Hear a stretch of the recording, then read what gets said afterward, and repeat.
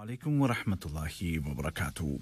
ये Urdu radio Qatar F M one seven है। अब आप उबैद ताहिर से आज का पहला नशरिया समात कीजिए। इब्तदा में पेश खिदमत हैं इस वक्त की अहम सुर्खियाँ।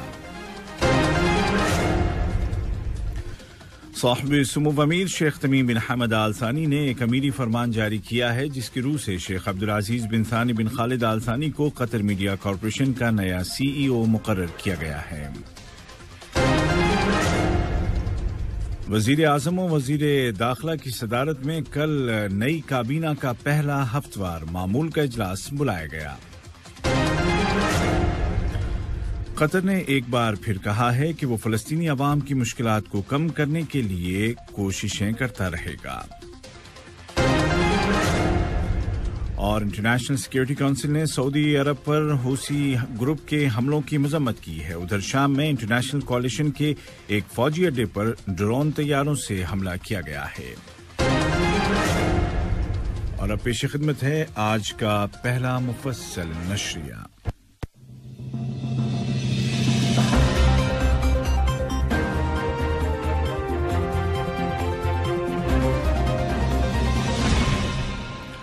बिस्मिल्लाहिर्रहमानिर्रहीम। साहब सुमु अमीर शेख तमीम बिन हमद आल सानी ने एक अमीरी फरमान जारी किया है, जिसकी रूह से शेख अब्दुल अज़ीज़ बिन सानी बिन खालिद आल सानी को कतर मीडिया कॉरपोरेशन का नया सीईओ मुकर किया गया है। वज़ीर आज़म और वज़ीर दाखिला शेख खालिद बिन खलीफा बिन अब्दुल अज़ीज़ आल सानी की सदारत में कल काबीना का मामूल का हफ्तवार इजलास बुलाया गया, जिसके दौरान वज़ीर आज़म ने काबीना में शामिल किए गए नए वजरा को खुश आमदीद कहा और उनको साहब सुमुव अमीर शेख तमीम बिन हमद आलसानी का भरोसा हासिल करने पर मुबारकबाद दी। वज़ीर आज़म ने सबक वजरा की खदमात पर उनका शुक्रिया अदा किया। उन्होंने कहा कि काबीना में हालिया रद्दोबदल आला क्यादत के इस विजन की नुमाइंदगी करता है कि आइंदा मरहले के दौरान हुकूमत की तरजीहत क्या होंगी और कौमी विजन 2030 के मकासद को हासिल करने के लिए इसको वतन और शहरियों की बहबूद के लिए क्या करना होगा? वाज रहे कि नई काबीना में मुल्क की तरक्की को देखते हुए कई नई वजारतें भी मुतारफ करवाई गई हैं, जिनमें वजारत सकाफत, वजारत बरए समाजी तरक्की और खानदानी बहबूद, वजारत माहौलियात और क्लाइमेट चेंज और वजारत बरए आईटी और कम्युनिकेशन शामिल हैं, जबकि वजारत तालीम को उसके पुराने नाम वजारत बरए तरबियत तालीम और अला तालीम के साथ बहाल किया गया है। बाद अजा काबीना ने एजेंडे पर दर्ज दीगर मौजूद का जायजा लिया और उसके मुतालिक मुनासिब फैसले सादिर किए।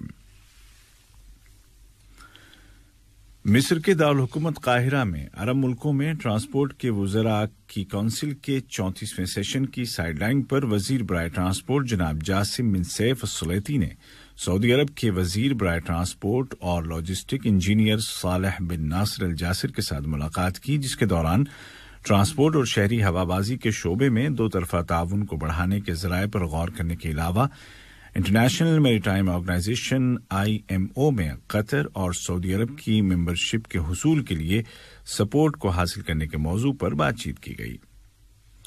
इसी तरह वज़ीर बरए ट्रांसपोर्ट जनाब जासिम बिन सैफ सलेती ने मिस्र के वज़ीर बरए transport general engineer Kamil Abdul Hadi के साथ मुलाकात की और दो तरफा ताउन के वसाइल के अलावा आईएमओ में कतर और मिस्र की रुकनीत को हासिल करने के लिए ज़रूरी सपोर्ट जमा करने के मौजू पर तबादला ख्याल किया। वज़ीर सेहत डॉक्टर हनान मोहम्मद अल कुवारी ने जेनेवा में डब्ल्यूएचओ की deputy director general doctor Susan Jacob के साथ मुलाकात की, जिसके दौरान कतर और डब्ल्यूएचओ के माबेन कायम ताल्लुकात के तमाम पहलुओं का जायजा लिया गया। मुलाकात के दौरान कतर में डब्ल्यूएचओ के इंटरनेशनल टेक्निकल सेंटर कायम करने और आइंदा माह नवंबर में कतर और डब्ल्यूएचओ के दरमियान होने वाली स्ट्रेटेजिक बातचीत से मुतल अमूर पर भी तबादला ख्याल किया गया। इस मौके पर डॉक्टर जेकब ने डब्ल्यूएचओ को कतर की जानब से मिलने वाली गैर मशरूत और मुसलसल सपोर्ट पर उसका शुक्रिया अदा किया और कतर के हेल्थ सिस्टम, कोरोना की रोकथाम में उसके किरदार और कतर में कोविड वैक्सीन के डोज लगाने की आला सतह की तारीफ़ की।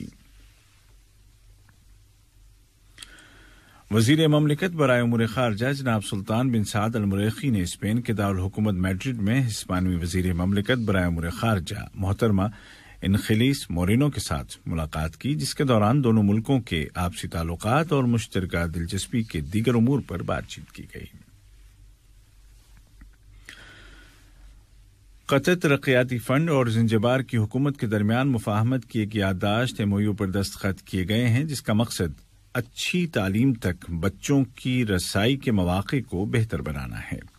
इस प्रोजेक्ट के तहत प्राइमरी एजुकेशन की उम्र के पैंतीस हज़ार सात सौ बत्तीस बच्चों को तालीम से जोड़ा जाएगा, जो मुख्तलिफ़ इसबाब की बिना पर तालीम हासिल नहीं कर सके।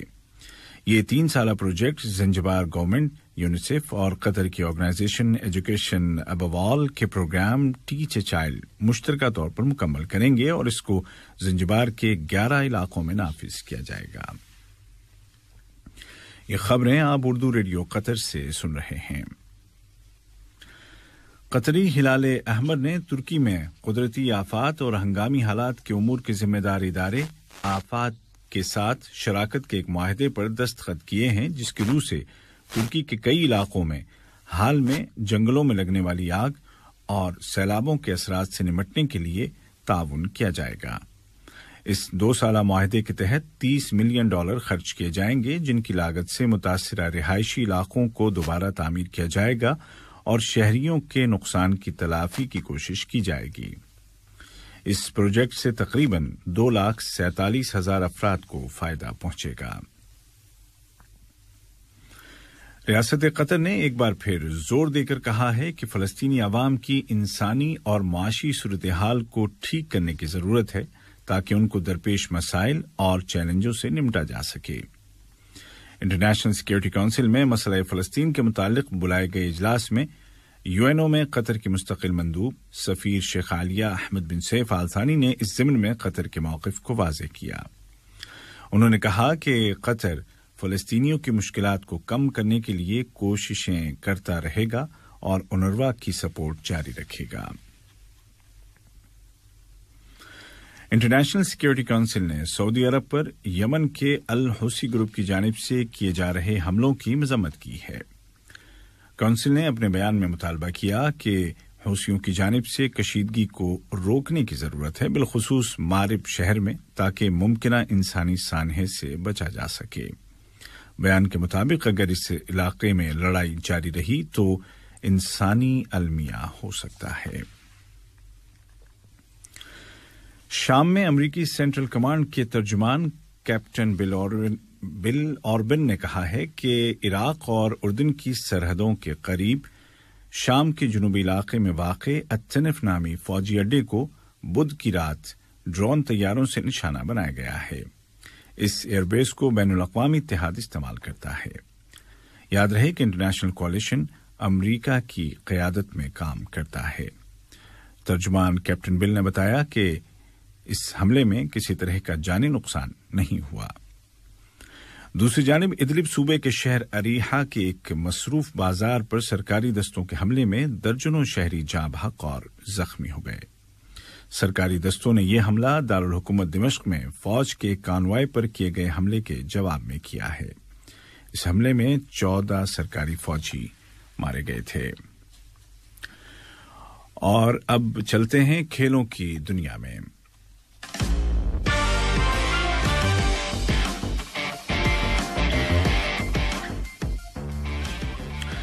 अमीर कप फुटबॉल का फाइनल मुकाबला कल असुमामा स्टेडियम में असद और रैयान की टीमों के दरमियान खेला जा रहा है। ये अमीर कप का उनचासवां एडिशन है। फाइनल मुकाबला देखने के लिए तकरीबन चालीस हज़ार अफराद स्टेडियम में मौजूद होंगे। ये स्टेडियम वर्ल्ड कप 2022 के लिए तैयार किए जाने वाले नए स्टेडियमों में से एक है, जिसका अमीर कप 2021 के फाइनल के ज़रिए कल बरोज जुमा इफ्तः अमल में आएगा। इस मौके पर फीफा के आला हुकाम भी मौजूद होंगे। और T twenty ICC world cup के एक मुकाबले में कल श्रीलंका ने लगातार अपना दूसरा मुकाबला जीतकर सुपर ट्वेल्व के लिए क्वालिफाई कर लिया है, जबकि वार्म अप मैचेस में साउथ अफ्रीका ने पाकिस्तान को और भारत ने ऑस्ट्रेलिया को शिकस्त दे दी है। आज का पहला नशिया खत्म होने से कबल इस वक्त की अहम सुर्खियाँ। एक मरतबा फिर सुन लीजिए।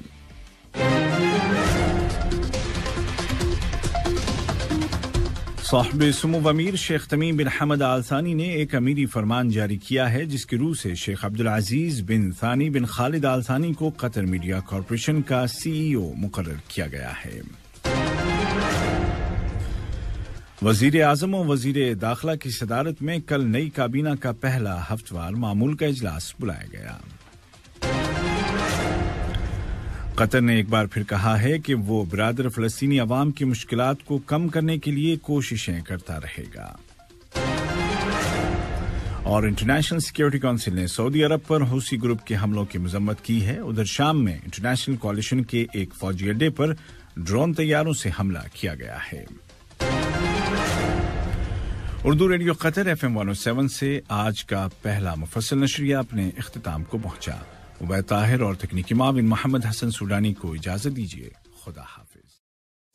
सलाम अलैकुम दोस्तों, मैं हूँ शेख नूर। आप देख रहे थे कतर न्यूज़ टुडे। मुझे उम्मीद है कि ये वीडियो आपको इंफॉर्मेटिव लगी होगी। इसी तरह के वीडियो पाते रहने के लिए नो टेम ट्वेंटी फोर बार सेवन यूट्यूब चैनल को सब्सक्राइब कीजिए और इस वीडियो को लाइक, कमेंट और शेयर ज़रूर कीजिए।